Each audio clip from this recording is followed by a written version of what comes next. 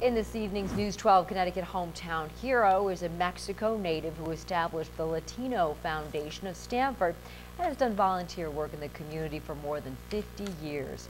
Galdino Velasco moved to Stamford in 1956 and says that he's been working to forge a cultural relationship between the city and Mexico ever since.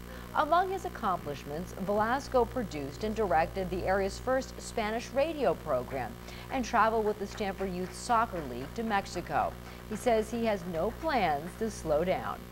I'm not going to stop. I've been, that question been asked many times. Oh, when you going to retire? I don't think I'm going to retire. As long as I'm healthy, I'm going to keep working. I said I'm going to go walking. That's it. Well, the Latino Foundation of Stamford provides media and art scholarships to local students and organizes annual cultural events.